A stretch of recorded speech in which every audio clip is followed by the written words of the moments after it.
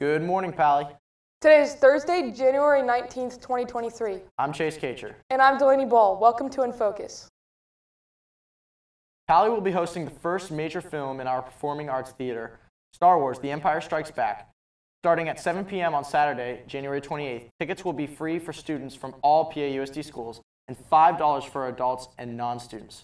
Proceeds will go towards buying supplies for the Boys and Girls Club of Palo Alto. Link to reserve tickets is coming soon.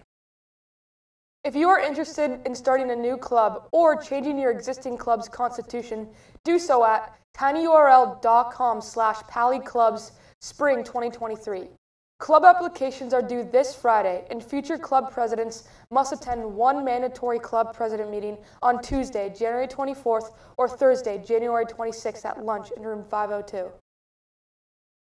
The class of 2024 is hosting the first Alley Gun movie night featuring Glass Onion, a Knives Out mystery, this Friday in the JLS Cafetorium at 6 p.m.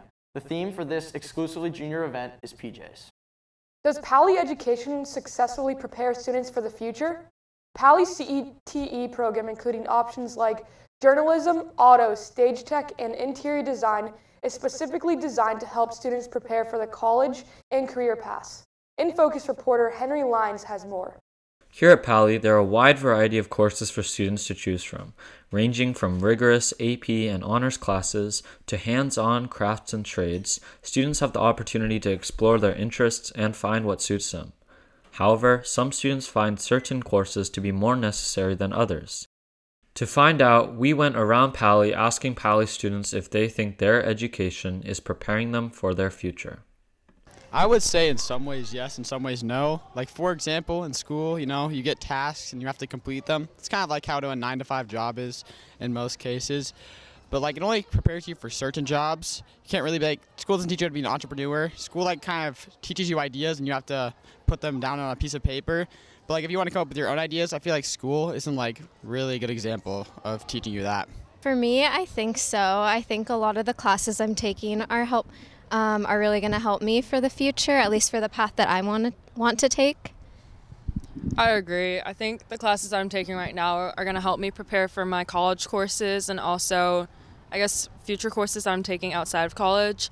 Um, I think that we get exposed to a pretty high level of academics, and so I think that'll help us a lot. While students feel like certain courses prepare them for their future better than others, Paly's CTE courses are designed specifically to prepare students for college and career paths. Director of Innovation and Agility at PAUSD, Zhong Che explains the opportunity that CTE courses provide. So CTE has like 15 industry sector that guides us through the program, ranging from uh, you know multimedia journalism to hospitality to engineering. So there is a wide array of pathways um, and standard that the California Department of Education is guiding us with, and through that lens, we try to provide rich experience for students to explore and figure out and discover what students may like or may not like. Now, let's see what Paly students think of the CTE courses. CTE is a great pathway for teaching people what their activities or interests they have in letting them learn skills like that. I believe many great classes are taught in there. Auto is a very good class. I know people have taken them like three years in a row and still having fun with it. I think I'm. T- I think I'll take one. Or actually, I'm taking computer science principles right now. I feel like that's a good class for the future because you know that's a really good job uh, for the future, and like you know it's pretty high paying, which will like make it so you can live on your own and like you won't be dependent from the government. And I feel like it, those jobs in general are really good because they teach you how to work hard and you can make good money from them. No matter which classes you decide to pursue, it's important to know that high school is a time to explore different subjects and acquire transferable skills.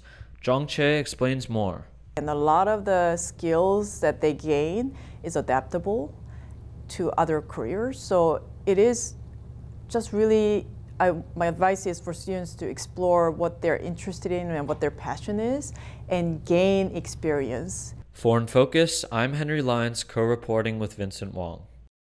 That does it for today's show. Follow us on social media at InFocus News to engage with our content and visit our website to view today's campus bulletin.